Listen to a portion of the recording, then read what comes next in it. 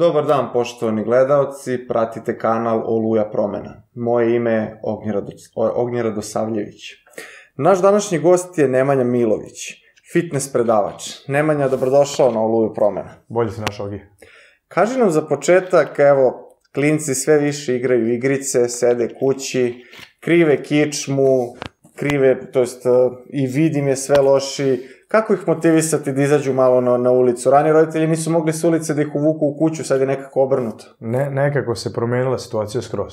Je li tako? Dijemetralno. Znači, mi smo bili, ja sećam kad sam ja bio klinac, ovaj, najgore mi je bilo ono vreme za ručak da moram u dva da dođem kući.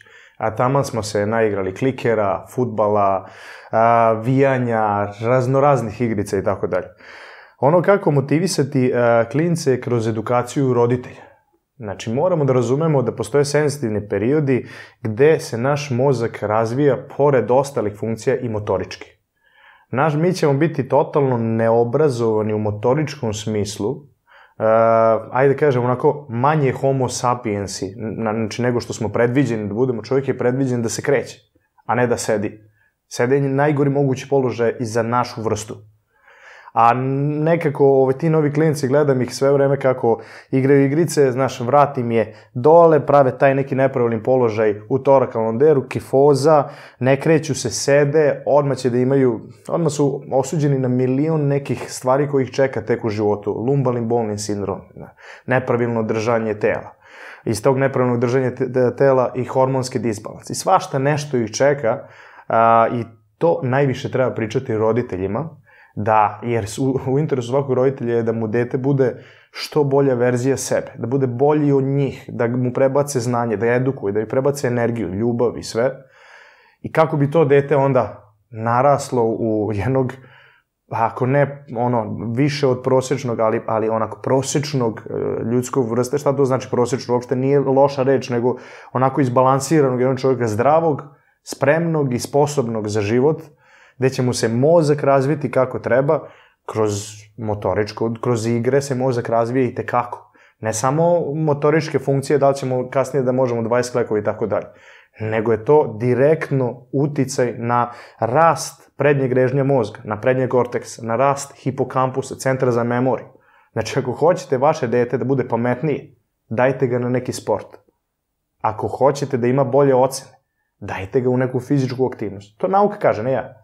A ako hoćete da vaše dete bude gluplje, e onda ga stavite pred video igrice, koje će da ga hipnotišu, uvedu ga u uski fokus, jedan ekran, koji će da mu uspore razmišljanje, uvedu ga u te takozvane alfa moždane talase, gde je to ono hipnoza totalna, umesto da dete bude otvoreno za pokret, za druženje, socijalizaciju, za razmenu te neke energije, za razmenu veština, za razvijanje mozga, za iskustva koje ćemo doneti kasnije u životu mnogo više nego jedna videoigrica. Ali roditelji često nekad idu i u krajnost, pa recimo, eto, ako se odluče za tu sportsku priču, Jeste, često da. umeju da preteruju, da, da, da pokušavaju preko dece da leče neke svoje, da li kompleks mm. ili, ili neuspehe, ti, ti kao neko ko je ceo život skoro u sportu, mislim da znaš da ipak u sportu najvažnije pobediti sebe i, i ostvariti neke svoje ciljeve, a ne u takmičenjima uvek biti prvi i Jest. bolji od drugih. Skroz se sad, evo, sad smo re, onako u jednu stranu ekstrem, pa u drugu stranu ekstrem, onako negde i u sredini je, što se kaže, ovaj, zlatna sredina Aristotelova je u, u, u slučaju uvek najbolja. Ono što ja često vidim, ovo što si ti rekao, da roditelji preko svojih nekih neuspeha, kompleksa ili kako god to da nazovemo, da to hoće da, da onako leče na svoji deci, što je dosta nesretno i gure ih u ekstremne varijante sporta gde se trenira više nego što detetu treba, gde uh, se de, uh, detetu određuje određeni cilj, gde, gde se detetu nameće motivacija kroz nešto materijalno, gde se detetu nameće konstantno takmičenje, I to je izuzetno opterećujuće za jedan mlad mozak. Sport, prvenstveno, pogotovo dok, dok si mlad, treba da bude igra, igra jedna. Na malo višem nivou, u smislu da si ti jednu igru usmeri. Generalno nije dobro usmeravati pre tamo neke 10. 11. 12. godine, što roditelji ne znaju. Ono što je preporuka, postoje jedna prelepa onako praćenje ovaj razvoja dece kroz sport i onda jedna preporuka iz svetskih organizacija gde kaže ovako, znači od četvrte do šeste je neka školica motorike, znači da se dete igra, da se razvije, poligoni i tako dalje. Od šeste do osme je gimnastika sa svojim telom, body weight. Znači što može više onih spravica isto i sa svojim telom u parteru da odradi, da nauči polako stoj, kolutu nazad, kolutu napred i tako dalje. Posle toga jedna godina je plivanje. Da, da nauči kao skill neku veštinu, da zna da dete i da pliva. Posle toga dve godine atletika, I to više boj. Znači da nauči više disciplina, da pravilno trči, da nauči da baca, da nauči da skače i tako dalje. I tek posle toga, znači sad smo vi stigli do 11. 12. godine, je kolektivni sport i usmeravanje i tako dalje. Naravno, postoje sportova koji su specifičniji, kao što je tenis i tako dalje, gde mora od malena da uđe samo u tu granu. Tako da, uh, preporučujem bi roditeljima da decu daju više iz razloga da se on razvija kao osoba, kao čovek, da mu se mozak razvija, a onda tek tamo negde oko 15. 16. godine da probaju da to su neke godine raskrsnice u sportu, profesionalnom sportu.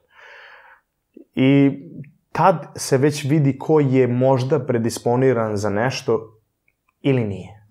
I tad tek treba da se ubaci ta jaka crta ega, da takmičenja, da se vidi da li dete treba skroz da se usmeri ili ne. Ja nisam protiv toga, ali kada razmišljamo ovako objektivno, vrlo mali broj je ovaj, ljudi uspeo. To su oni procenti kroz 0,000 i tako dalje. Znaš, a šta ćemo sa onih 99,9%? To su ljudi koji su potrošili svojih, ne potrošili, nisu potrošili, ali koji su 10, 12, 15 godina bili u određenom sportu, nisu se igrali, jer su im roditelji zadavali zadatke da moraju da pobede, da ih tamo čeka ne, ne, da neki Ronaldo, Messi ili tako dalje.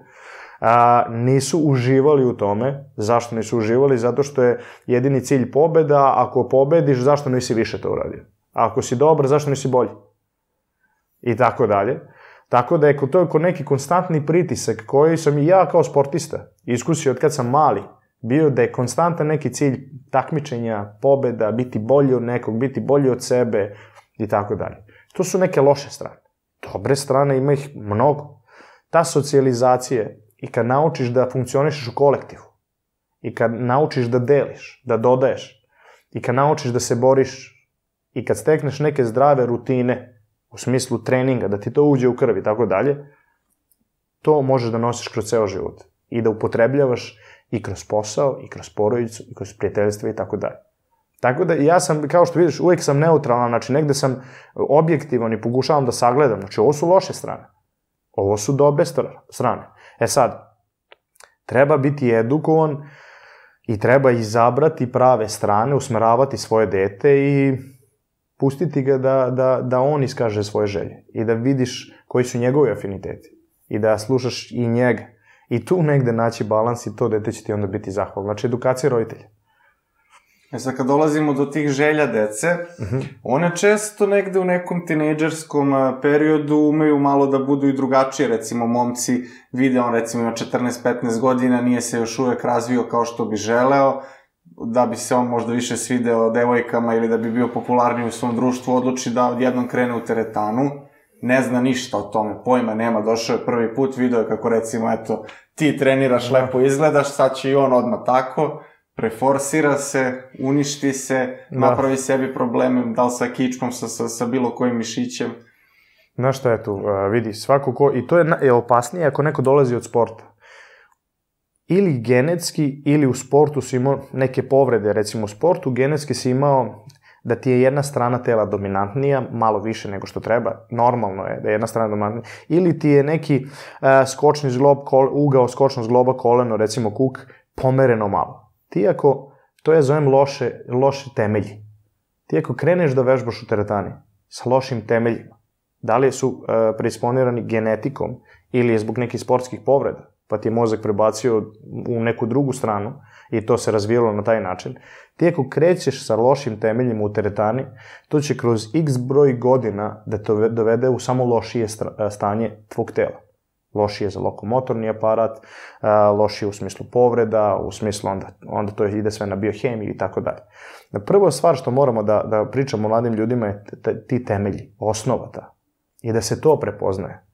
Ono što je druga stvar je da ti mladi ljudi su vođeni nekim idolima koji su YouTube, e, ne znam, e, fitness modeli ili su neki influenceri i tako dalje. Moramo da razumemo da ti ljudi treniraju već jako dugo godina i da e, trenažni proces izgleda kao ona igrica sa nivoima, već kad pominjemo igrice. Znači level 1, level 2, level... I sad ti si na nivou 1, a počinješ da treniraš kao neko ko je nivo 8 ili 9. Prvo, e, loše je za napredak. Znači, telo funkcioniše, ne znam tvoj mozak, da li je to vežba bench, da li si super setovima, u drop setovima, da li spajaš trening ili otko znam. Znači, tvoje telo zna samo, aha, danas si me opteretio, na ovaj način ja ću se adaptirati, tako ću te poboljšam. Ako me opteretiš mnogo, morat ću i na to da se adaptiram i tako dalje. Ali, hoću da kažem da je mnogo bolji napredak kad ideš sa nivoa na nivo. Jer je to sve stres adaptacija. Pa, stres, adaptacija. Stres. Ako ti napraviš ovde stres, bit će samo jedna adaptacija. Znači, to prvo ljude, onako da motivišem, jedna pozitivna strana. Ne morate da trenirate toliko teško, imat ćete čak i bolje rezultate. Jer ćete tu lestvicu moći mnogo više da pomerite nego kao odmah se naviknete na ovo. Mnoge sam ljude viđao, odmah se naviknu na neke napredne treninge i onda gde dalje. Znači, polako. Šta je level 1 trening? Vežbe sa, sa svojom težinom. Gravitacija nam je jedini alat. Znači, nema tegove i tako dalje. Ima toliko dobrih vežbi pomoću uglova, mišića, to je tela, pomoću tempa koji se izvodi, pomoću kreativnosti i tako dalje, koji mogu da opterete, da stresiraju mnogo mišića da imamo dobar napredak. To su prva dva levela. Pa onda idemo u teretanu, osnovne vežbe, vežbe, tehnike i tako dalje. Pre toga je ovo prepoznavanje te temelja. Koja nam je noga jača? Da li smo imali neku povredu pa nam se poremetila os? Pa da to ispravimo. Ima tu, naš, dosta je kompleksna stvar. Ljudi stvaraju, e, shvataju zdravo za gotovo, unište zdravlje. Posle 10, 15 godina, posle 20 godina. I onda se osveste, opamete i onda krenu da rade korektivnu gimnastiku, korektivne vežbe, ispravljanje nekih deformiteta, e, držanje kičme, onda rade na kor, na, na kor stabilnosti i tako dalje. Ne mogu, neću kažem da je kasno, ali što mi ne bi, recimo, kroz fizičko vaspitanje u školama, obučili mlade ljude da to prepoznaju. Da se samo posmatraju. Da mogu sami sebi da pomogu. Nije to, jeste nauka, ali moguće je. Kroz neke osnovne stvari to je moguće sprovesti i moguće uraditi.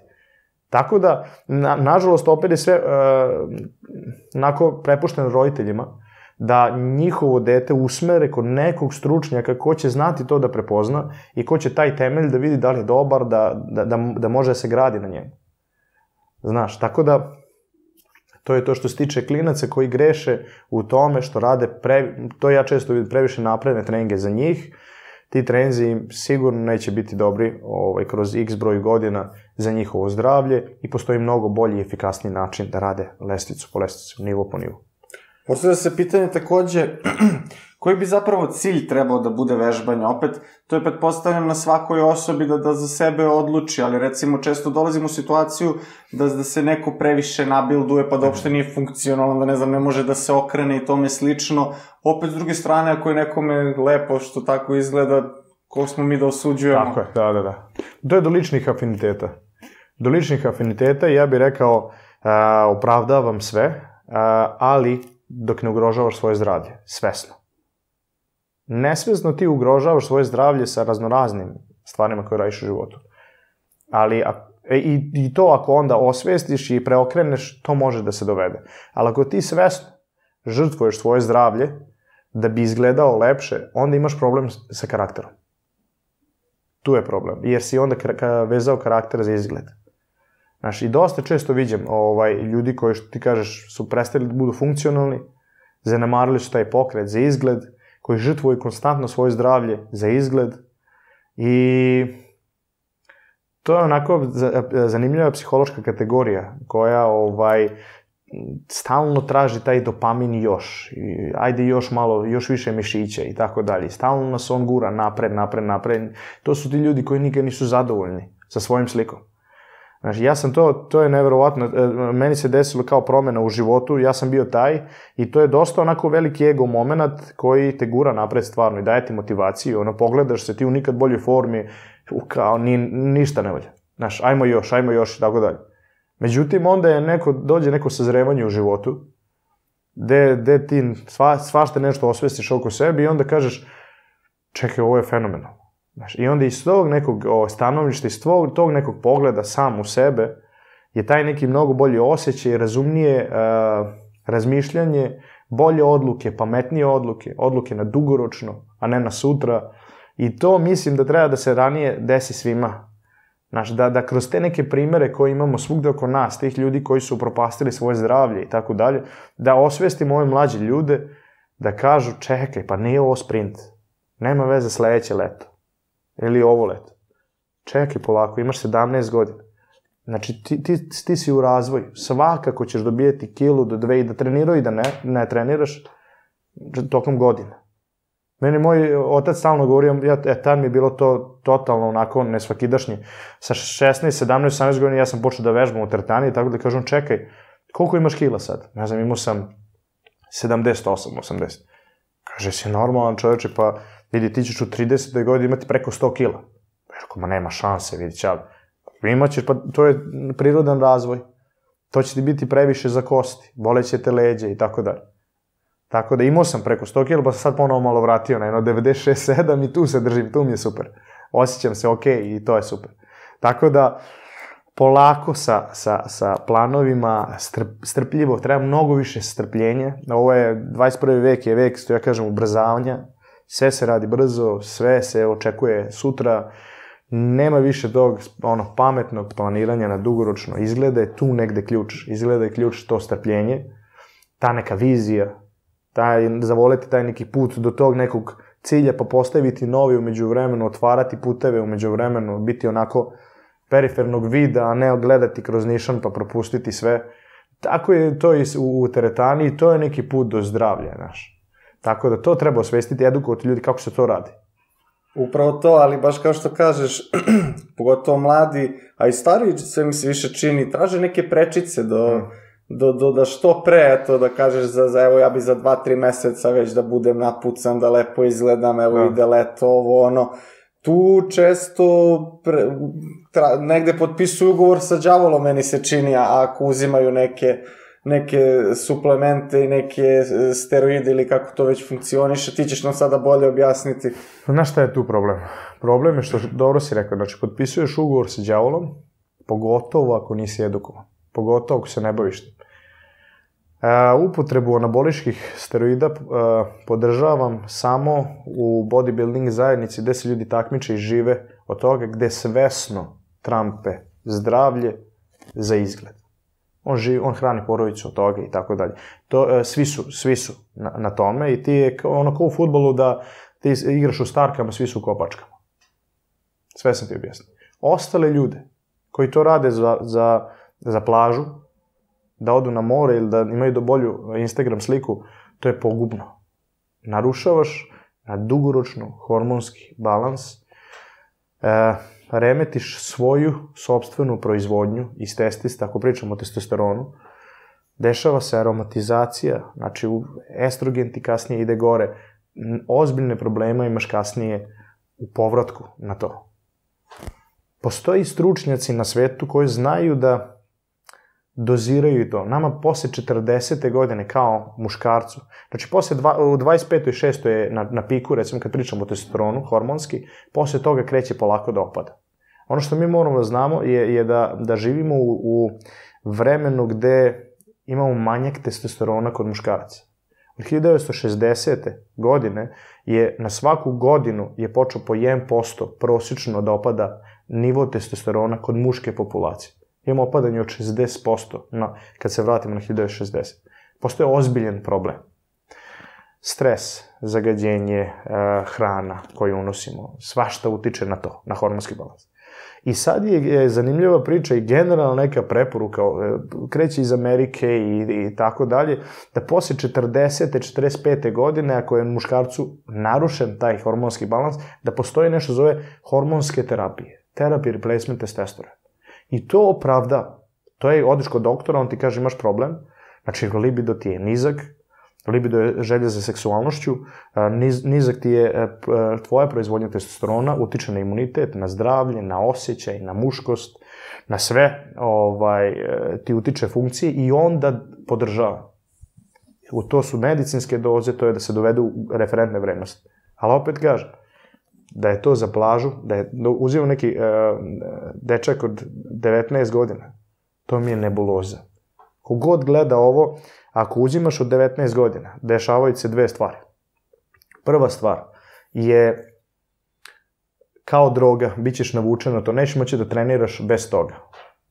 To je, to je najgora stvar na svetu. Ljudi koji to probaju, onda a kad prestanu, oni, oni izgubi motivaciju za trening. Zato što se više stvari dešavaju preko noći. I to će te pratiti ceo život. Ako želiš da uništiš doživotno motivaciju za trening, to sam ja poslušao savete mojih starijih kolega koji su to probali, koji su rekli nemoj zbog motivacije nikad. Ja sam ih poslušao kao, ima smisla. Pa ja volim da treniram, neću to da ubijem. Ja hoću da treniram do 80. Znači, prvo ubiješ motivaciju zato što si bez toga onda nemaš te rezultate ono, od, od, od nedelju dana, od, od mesec dana da se odmah nešto vidi. Ubije ti motivaciju. Drugo, gasi tvoju proizvodnju, da li ćeš se vratiti u hormonski balans ili ne, jako, jako veliko je pitanje. I niko ti ne garantuje. I ako hoćeš ceo život kasnije da imaš problem sa hormonima, hormoni nam utiču na raspoloženje, na imunitet, na libido, na ponašanje, na sve živo. Ako hoćeš tim da imaš problem ceo život, onda izvoli. Žrtvu jedno leto, dva leta i napravi par slika. Mislim, to je ono kao e, tas. I sad ljudima moramo da osvestimo. Znači, evo, znači ovo se dešava, ovo je realno, može i da se ne desi, e, moraš da budeš ozbiljan stručnjak, opravdano ti je kad imaš problem posle 40, 45. godine, bodybuilding, tako je, kako je, takav je sport. Ne mogu ja da, da, da menjam pravila. Ali evo vam sve na tacni, pa vi odlučite. I to je ta neka komunikacija sa mladima, ta, na taj način treba da bude. A ne zabranjeno i to je to. Objasni im zašto. Objasni im zašto alkohol, zašto droge. Objasni im. Ali nemoj im zabranjivati. To je nauka sve. Ako im objasniš i ako im, ako im kažeš na šta će to da utiče, onda on ima izbor. Možda zbog tog izbora će neko da smanji nešto. Odlično. Možda će neko da prekine. Još bolje. Možda će da navikne. E, da, da nastavi. Njegov izbor. Sad si mu dao izbor. Tako da mislim da je dosta toga u priči, u komunikaciji, u edukaciji mladih ljudi da bi, da bi bili bolji u mojim godinama. Da bi bili bolji u mojim godinama. Sad treba uh, raditi, sad treba stvarati, sad treba porodicu imati, sad treba odgojiti svoje potomke, nastaviti svoju lozu na što bolji način. Tako da mislim da ta edukacija treba da krene mnogo ranije. Od, te, od tog ulaska u puberteta. Tako da... Ali postoje, pretpostavljam, i neki dodaci ishrani, suplementi koji, koji su korisni, da. koji mogu i da pospeše i, i trening i da čovjek bolje izgleda bez da ne znam koliko narušava svoje zdravlje, čak možda i da ga poboljšava. Da, tako je. Postoje dosta uh, bezbednih suplemenata na svetu. Oni su u takozvanoj kategoriji A suplementacije. To su suplementi koji su prošli, ajde kažem, ozbiljnu nauku. I to na dugoročno. Znači na 30, 40, 50 godina. Koji se istražuju i koji uh, nam koriste da ih dodamo, dodaci ishrane, dobro si to rekao, da ih dodamo u našu ishranu, da ih dodamo u našu životnu rutinu, kako bi bili bolji mi u smislu zdravlja, u smislu razmišljanja, u smislu performansi. Znaš, i e, ti suplementi, e, mora, mnogo više se priča o tome. Zašto? Zato što postoje određeni, e, e, određeni nedostaci u unosu, recimo kratin monohidrata. Ima naučne studije koje kaže preko 50% svetske populacije je u deficitu kad izmere nivo kreatin monohidrata u mišićima u mozgu. Kreatin monohidrat je ključna uloga u telu, on, on i pomaže da se stvara energija. Znači, za sve tvoje organe, mozak, srce, pluća, jetra, mišići, treba energija da bi oni funkcionisali kako treba. Ta energija se otplaćuje e, molekulom koji zove adenozin trifosfat. Kreatin se vezuje adenozin difosfat i formira taj adenozin trifosfat na mitohondrijskom nivou. Znači da imaš više energije za određene funkcije. U smislu, ako nemaš uh, više energije, znači slabije ćeš da razmišljaš. Ako nemaš više energije, znači slabije će da bude uh, skeletni mišići. Imaćeš manje energije za sve. Ono što nama nauka kaže da smo mi u 50% u deficitu toga. A zašto smo u deficitu? Zato što mi 1 gram proizvodim se kreatin u našem telu, iz bubrega, preko gune do sirćene kiseline u jetri, pa ovaj, ga možemo da koristimo, a 1 gram ga unosimo kroz ishranu svakodnevno. Ono što je problem je ta ishrana. Ona je osiromašena. Zbog zemljišta, zbog svega, zbog naših etičkih razloga. Prelazimo u vegane, u vegetarijance, ima dosta nekih dijeta i tako dalje. Kreatin se najviše dobije iz mesnih, eh, iz mesa. I mi, ako ga ne unesemo te magična ta 2 grama, mi smo u, u nedostatku kreatin monohidrata koji nam utiče na sve funkcije tela. Opet kažem, ne, ne pričam sad samo o nego o radu mozga. Ono što je zanimljiva stvar, u 30 godina kreatin monohidrat je bio onako broj 1 suplement na svetu. Preko 60.000 naučnih studija.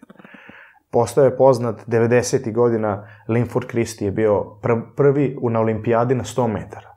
Čovjek je izjavio, htio bih da se zahvalim svom treneru i kreatin monohidrata.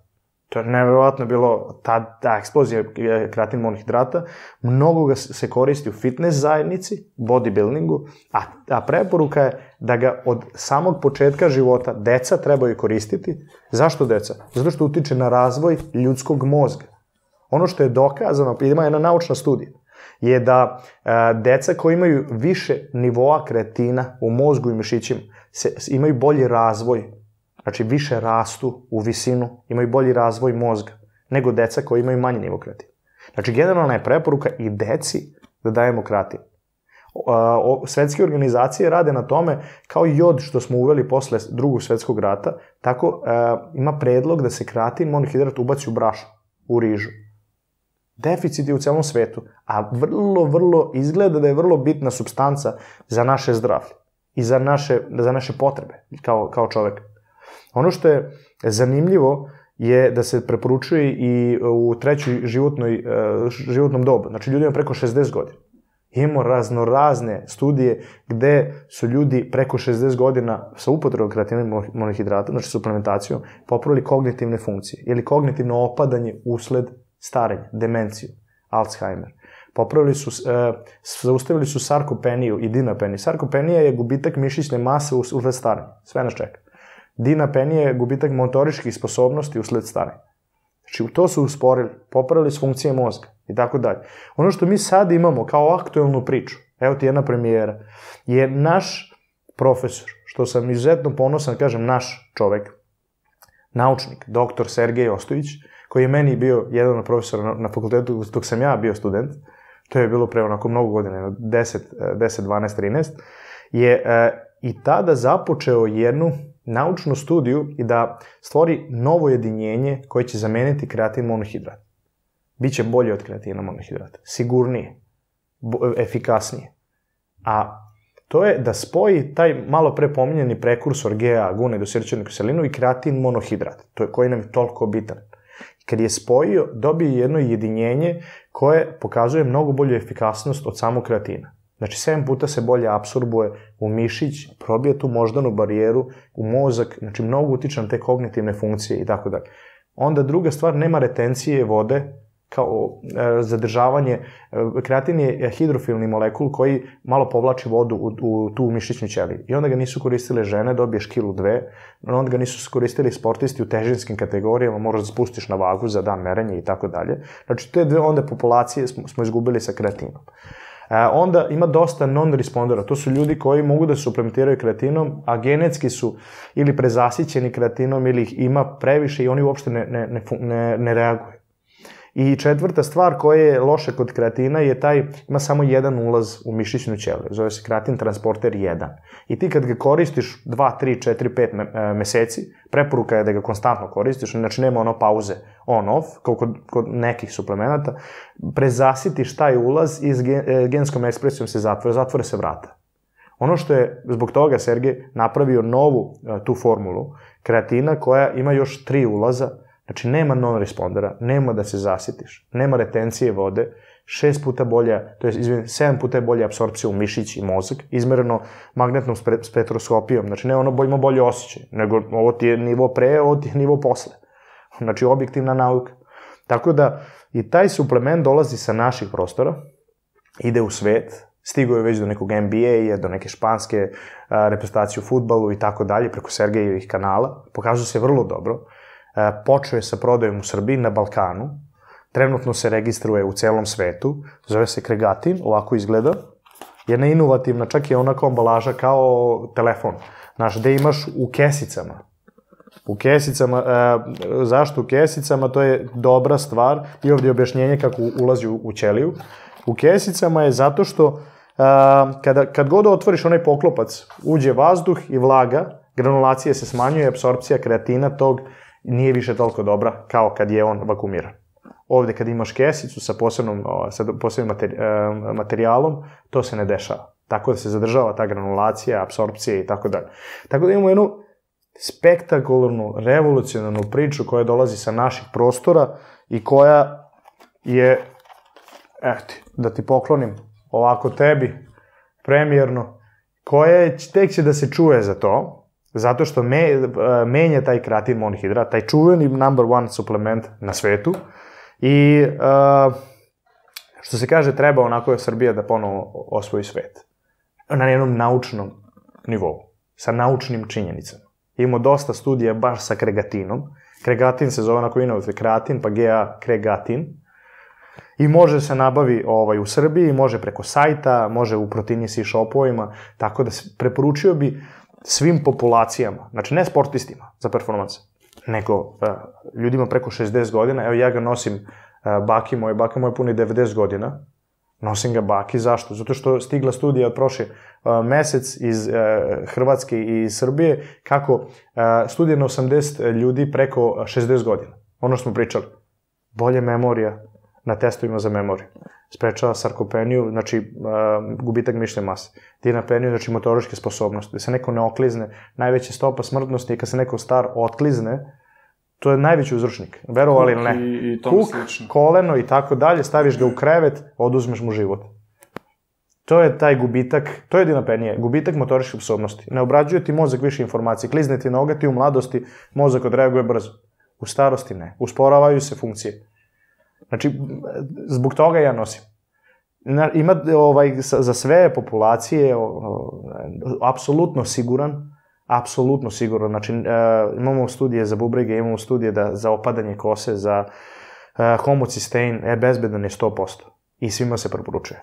Tako da postoje suplementi koji, iza koji e, stoji dugogodišnja nauka, na najvišem nivou. I oni se preporučuju. Zbog deficita trendova trenutnih u svetu. Zbog načina ishrane, načina života, zbog stresa, zbog stvari koje nas čini homo sapiensima u 21. veku. I izgleda da nam treba pomoć u dodacima ishrane. Izgleda da mi više ne možemo, da nije toliko obogaćeno zemljište naše koje smo istrošili sa tim mineralima, sa tim vitaminima, sa stvarima koje nama treba da bi normalno samo funkcionisali. Da bi bili u, u homeostazi izgleda da nam treba pomoć. I zbog toga su neki suplementi dobri, neki nisu do, toliko dobri, neki su čak i loši. E sad, treba istraživati, treba stajati iza nečega, iza čega je e, nauka, ali plus godine, znači na dugoročno. 30, 40, 50 godina se istražuje, istražuje preko 60.000 studija. Znači na svim mogućim populacijama šta koji god problem u životu, to je, to je bukvalno na tvojoj uh, populaciji bio istraživan kreatin monohidrat. Tako da, dosta, dosta ovaj, treba biti obazriv, ali za kreatin apsolutno ne. Znači, sigurno, 100%. Hvala na poklonu prvo, a, a druga stvar, dakle, to je dodatak ishrani. E sad, glavna stvar, ishrana. Tako. E, međutim, postavlja se i tu e, neko pitanje gde, gde mnogi, ne znam, danas pojede 20 ćevapa, uveče picu, kaže nema veze, idem sutra na trening da to sve lepo sagorim. Da, to je Međutim, najveći stomak negde ostaje. Često se ljudi tu i preforsiraju, da ne govorimo o onima koji se i, i, i drogiraju, i, i, a to je dosta poznat slučaj kod žestokih momaka koji e, su i na nekim drogama i na jakom treningu, pa ih udari srce pa umru u 35-40 godina. To je nezgodna kombinacija. Vrlo nezgodna, a, a, a takođe imamo ovo što sam već spomenuo, ćevape, pice, vamo tamo, pa kao nema veze sutra trening, pa se opet to sve zakrši, pa opet to ništa ne valja. Kaži nam kako pravilno da se hranimo. Uš, to je jedna izuzetna kompleksna tema. Ima, ima osnovnih principa, iskreno, ja predajem o tome na, na fakultetu. DIF je napravio određene kurseve koje edukuju ljude, moje kolege trenere, recimo pravilna ishrana i suplementacija, personalne trener i tako dalje. Ono što je uh, naj, najkompleksnija stvar je upravo ta ishrana. Ima mnogo pravaca danas ima keto dijeta, carnivore dijeta, low carb dijeta, vege, vegetarijanska, mediteranska, ima mnogo ishrana, svi su sluđeni, svi su zbunjeni. A, ljudi misle da će samo ishranom da naprave nešto ili samo treningom da naprave. Sve su to sad mitovi, sve su to sad greške. Ono što je, tre, je jedna e, kompleksna slika, znači celog dana. Prvo, moraš da si u hormonskom balansu, to ti je osnovno. Znači, kad izvediš tamo hormonsku sliku, da je sve u referentnoj vrednosti. Ako nije, ako ti je recimo estrogen povišen ili testosteron mali, nema mršavljenja. I da dobro treniraš i da se dobro hraniš. Znači, to ti je, to ti je temelj, ono što smo mi pričali, je hormonski balans. E onda na taj temelj idemo, prvi nivo je ishrana. Znači, kad kažem ishrana, mislim na a, da unosiš hranu koja je bogata mikro i makronutrijentima. Znači, ne samo kalorije, Nego šta to znači? Da ne unosiš hranu iz ukrasnih kesica, koja je obrađena, gde ima rafinisanih šećera, gde ima veštačkih zasađivača, koja je puno transmasti. Nego da unosiš hranu koja je bogata mikro i makronutrijentama. Koja je to hrana? Lako je prepoznati. Amerikanski kaže whole foods, cele hrane. Zato kad kupiš u, u marketu pa je nešto onako iz zemlje izvođeno ili nešto što je, nije u, u, u papiru, e to je cela hrana. Tu nećeš pogrešiti nikad. A onda druga stvar je tek, posle te hrane bogate makro i mikronutrijentima, je koliko si o, količinski uneo. To je druga stvar. Koliko kalorije si uneo. Ako uneseš više nego što si potrošio, to je takozvani kalorijski suficit, ti se gojiš. Manje, deficit, ti mršaviš. Ok? Znači imamo samo jedan način unosa energije. A to je koliko sam kalorija hasao tokom dana. A imamo tri načina e, potrošnje energije. Prvi je bazalni metabolizam, znači osnovno nivo a, energije koje ti treba za održavanje vitalnih funkcija tela. Ono što malo pre pričali, rad mozga, rad bubrega, jetre, mišića, srce, sve košta energije. I to ti je bazalni metabolizam. Ja i ti kad sedimo ovako i kada u sedećem položaju, mi da i dalje trošimo kalorije. I to je, verovali ne, preko 70% potrošnje na dnevnom nivou. Znači, ne da treniram ja i da je tako dalje. To je 20%. 70% je naši organi koji koliko troše energije. E, druga stvar e, koje, e, koje, kad pričamo o potrošnji, je ta fizička aktivnost. Aktivna, pasivna. Aktivna je trening, malo onako ekstremnije, a drugo je pasivna, seda i ustaj, idi na bus, hoda i tako dalje. I treća stvar je taj termički efekt hrane. Svaki put kada unesemo neku, neku hranu, naše telo troši energiju na digestiju na apsorpciju i asimilaciju tih nutrijenata. I to je zanimljiva stvar. Tako da, a, to je neke sad drugi stepen, što smo rekli, ako je prvi stepen, stepen da je hrana bogata mikro i makronutrijentima, drugi stepen je da je a, da zadovoljavamo kalorije za taj dan. Da ne jedemo preobimno, da ne, da ne jedemo ni, ni, ni premalo. E, treći stepen je taj tajming unosa. Znači, šta jedemo za doručak? Pre treninga posle treninga. To je ono kada znaš a, šta će ti svaka namirnica doneti. Znači, pre treninga treba šta? Energija za trening, ali tako? Posle treninga, to je, znači, su složeni ugljeni hidrati. Heljda, proso, integralni pirinač, a, amarant, i imamo dosta tih izvora. Zašto složeni? Da ne diraju nivo šećera u krvi, jer ti to ne treba za trening. Pašće ti energija. Da ne objašnjavam sad ovde biohemiju. Znači, znači treba ti energija za trening, složeni hidrati. Posle treninga šta, šta ti treba? Oporava, građanje mišića, je tako? Pa treba ti protein. Koji protein? Protein koji je iskoristiv.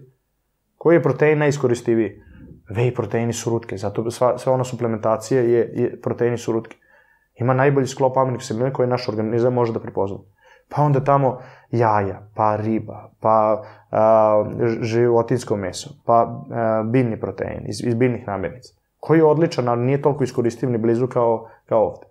Šta nam, treba, šta nam ne treba uveče, pred spavanje? Pa ne treba i nam ugljeni hidrati.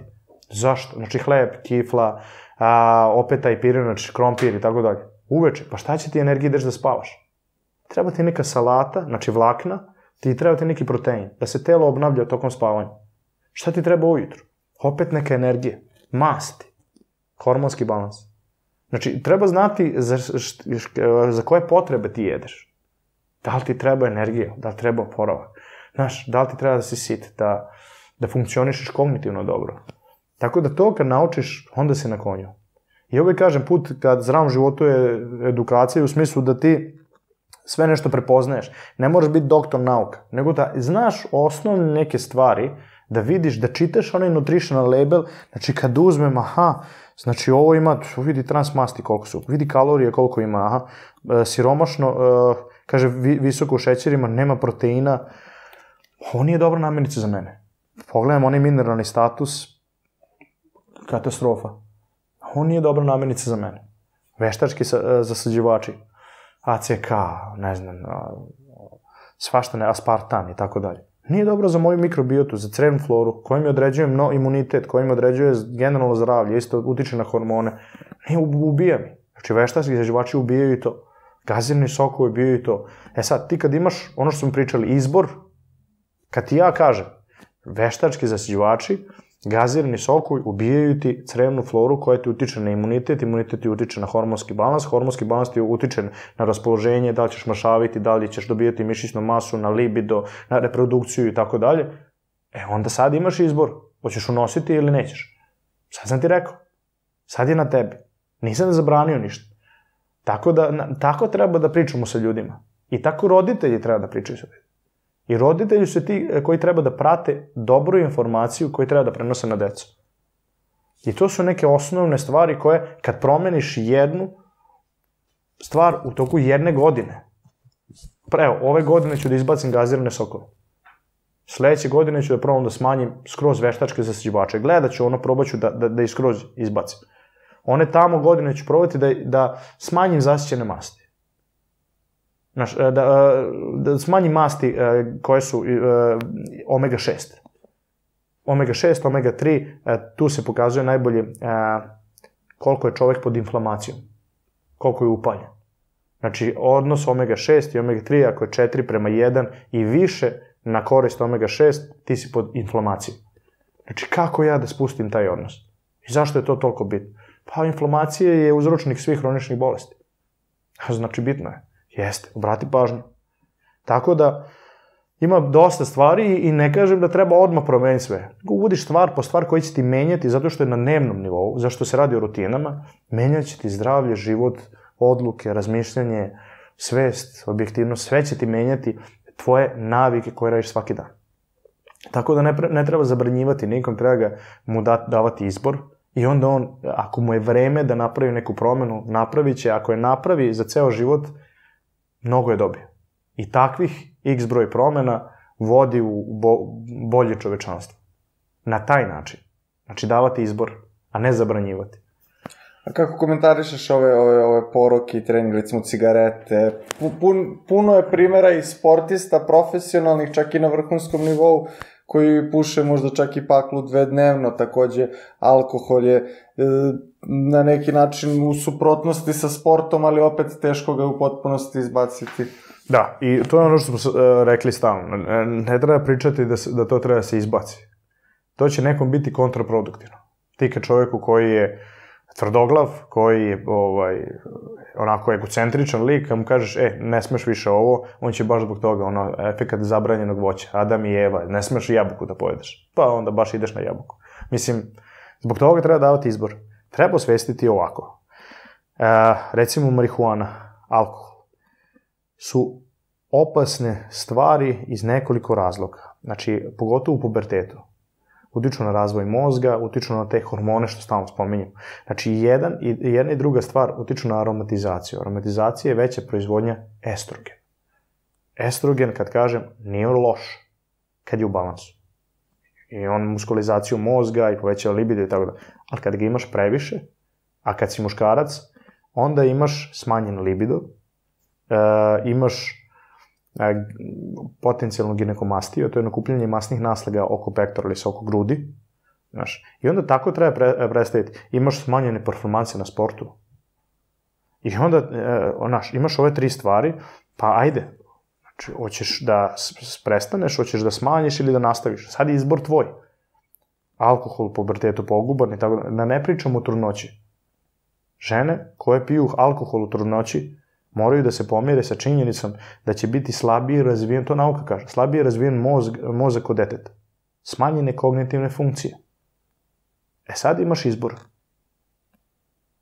Pi, ali znaj da će dete da ti ne bude na 100% baš zbog toga što ti radiš. E, duvaj travu kad si tinejdžer, a znaj da ćeš da imaš više estrogena i smanjene funkcije kognitivne, smanjenu memoriju ako, ako to radiš dugoročno, to je sve dokazano. Nećeš imati toliko testosterona, imaćeš slabije performanse. Bićeš manje muško, aj tako da kažem. Ako, ako ta organizacija ode baš gore. E, ok, sad to radi.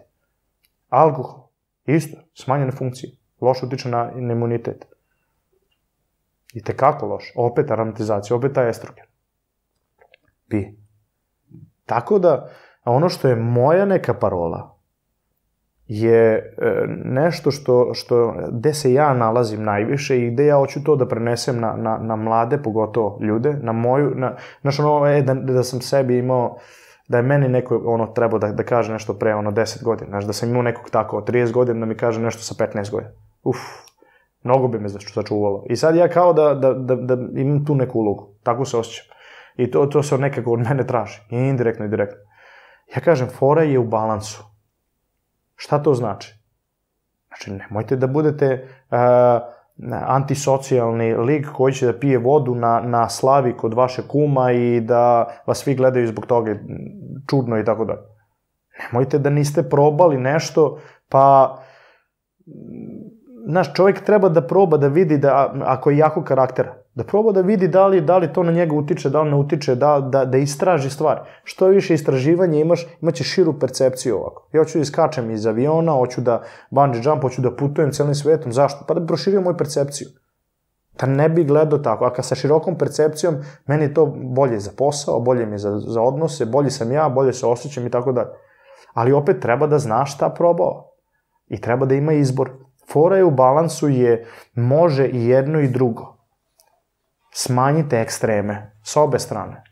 Znači, nemojte biti ekstremni tri treninga dnevno, a nemojte biti ekstremni ni tri pijanstva nedeljno. Pa hajmo u balans. Može i jedno i drugo. Znači, čuvaj se ovde malo, čuvaj hrskavicu, čuvaj ligamente, nemoj se trošiti toliko. Budi pametniji u treningu. Ovde, čuvaj svoje hormone, čuvaj svoje zdravlje, čuvaj nešto na dugoročno. Smanji na jednom. I znaj šta radiš. Imaj kontrolu. Balansiraj. Žongliraj. Može sve da se postigne. Ja uvek kažem, ja sam pet dana živim kao olimpijski sportista i ja šesti dan sam u kafani. I onda me svi gledaju, pa kako ti piješ čovječe? Pa kako, pa, pa ljudi, pet dana, ja ustajem u, u, u sedam, ležem u 11, imam pet obroka dnevno, treniram svaki dan. Ja se nagrađujem šesti dan. To je fora u balansu. I opet nisam ekstreman. I opet znam da kažem uh, stani. I to ja predlažem uh, ljudima. Neću ništa da im zabranjujem. I ljudi kad dođu kod mene na, na online ishranu, online trening i tako dalje, imam anketu koju je puna takvih nekih pitanja. Njihova životna rutina. Ja jednom pevaču koji dođe kod mene da, da izbacim alkohol, pa on bi rekao, vi druže, nemoguće. Ili da mu kažem, lezi spavao 11.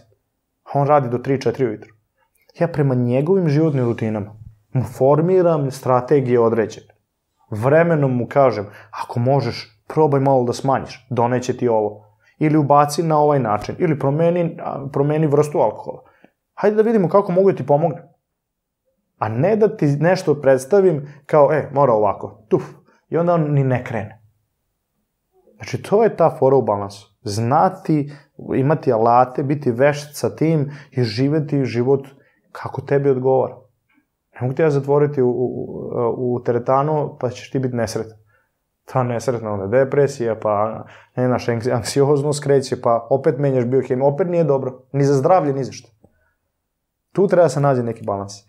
To tako mi je pričao isto tako i, i profesor, ovaj, doktor Momčilo Matić, on mi je rekao da, recimo, ako tebi e, veoma stalo u tom trenutku, da li da popiješ čašicu, da pojedeš neku pljeskavicu, tebi će to mnogo bolje uticati i na hormon sreće i, i taj dan će te pokrenuti, malteni motivisati i neće ti toliko naškoditi, ali ako preteruješ u tome, hvala Bogu da hoće.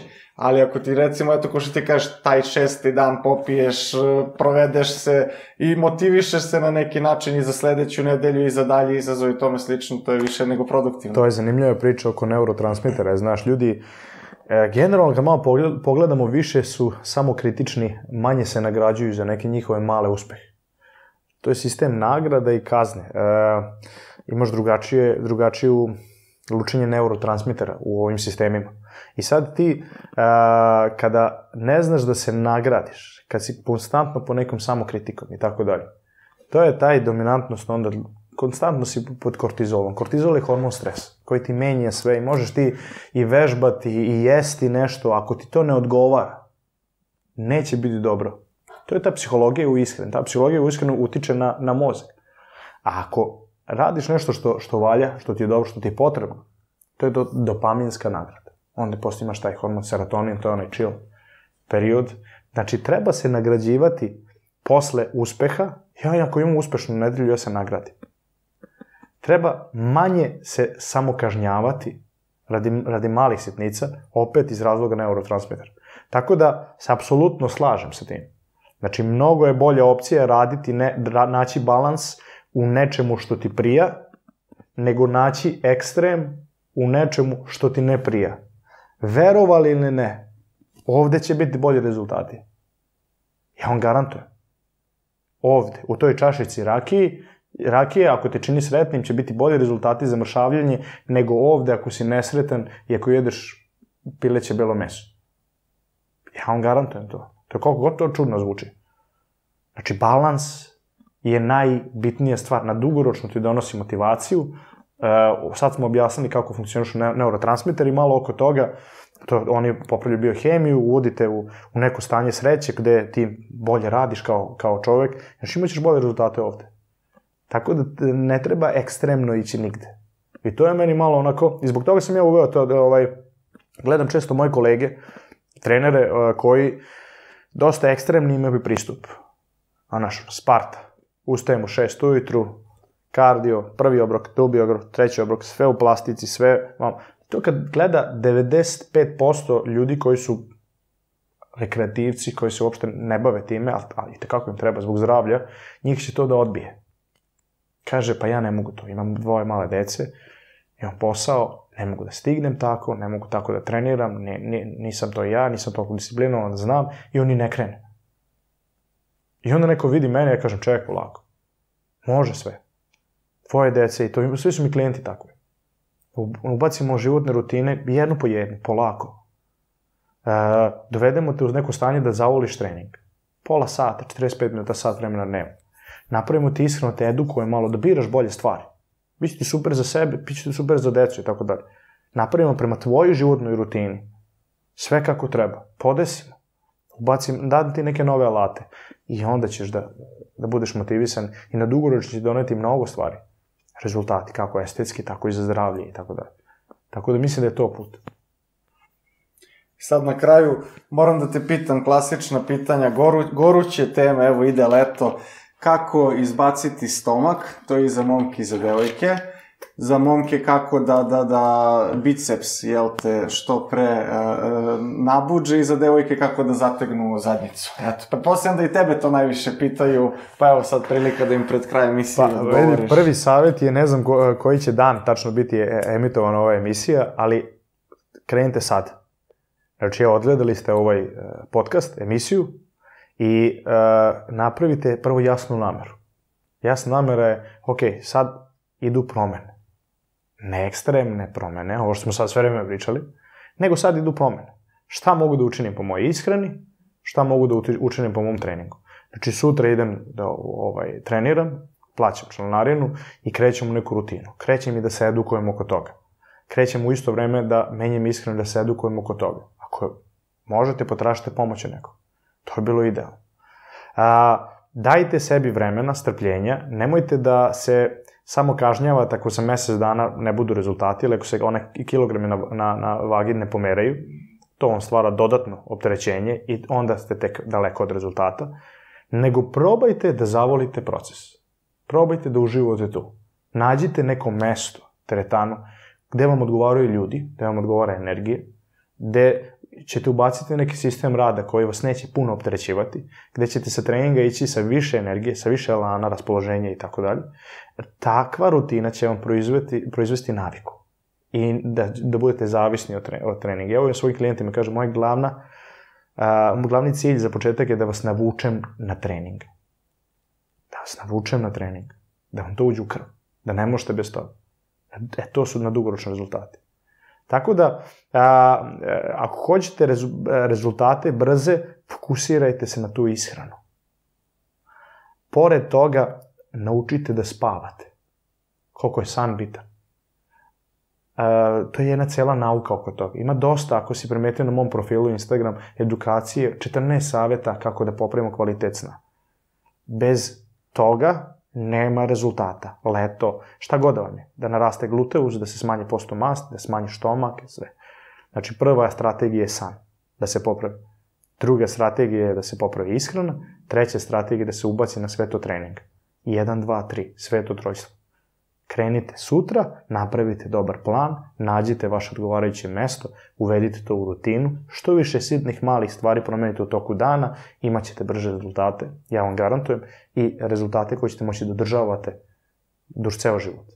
Samo zato što ste edukovani, imate bolji izbor i pravite bolje odluke na svakodnevnom nivou. Eto, to je moj savjet za ljudi. Nemanja, hvala ti puno što si bio naš gost. Hvala tebi poziv. I, i želeo bih još jednom da te zahvalim i na, i na poklonu i na gostovanju. I kaži nam ev, eventualno za kraj, koja bi bila tvoja poruka, dakle, svim mladima i onima koji su malo lenji i onima koji, koji vole da treniraju, ali možda negde greše, uh, Eto, ne, par nekih reči čisto za kraj. Nađiva, na, nađite balans između uh, uživanja danas, u trenutku, i gledanja uh, na dugoročno u nekom, recimo, procesu, malo, malo budite analitičniji što se tiče toga, znači koliko treba da uživate taj dan, danas, toliko treba da imate uvek na umu da vam to danas do, donosi ne samo sutra, nego da vam donosi celu budućnost, za 5, 10, 15 godina, da vam formira a, porodicu, posao, prijateljstva, da, da je veliki uticaj toga što radite danas, svaki dan. Ako imate to u mozgu, Ako imate tu rečenicu, mislim da ćete praviti mnogo bolje odluke u životu. Sa boljim odlukama na x broj godina bit ćete bolji ljudi. Ako budete bolji ljudi, moćete više sebi da pomognete. Ako sebi maksimalno pomognete, moćete više drugima da pomognete. To je neka moja, moja poruka. Znači, probajte da imate tu rečenicu u glavi kako ova odluka koju donosim sada utiče na moju budućnost ali da to ne bude opterećivajuće, nego da vam stoji samo kao pomoćna rečenica u glavi, a prva rečenica je kako da ne razmišljam o prošlosti i previše overthinkujem o, o budućnosti, nego da uživam danas. Znači imajte balans između uživanja danas i pravljenja odluka koje će da, da formiraju vašu budućnost. Taj balans, ako imaš 15, 16, 17, 18, 19, 20 godina, pa do 23. četvrte, bi ja rekao, da, da, da, da, da se formira, imaćete svetlu budućnost. Ako nemate to, imaćete upitnu budućnost. To vam garantujem. Eto, i u skladu sa, sa nazivom našeg kanala da pokrenemo tu pozitivnu oluju promena. Poštovani gledalci, hvala vam što ste nas pratili. Nadam se da ste uživali u ovom inspirativnom razgovoru i pratite nas i nadalje.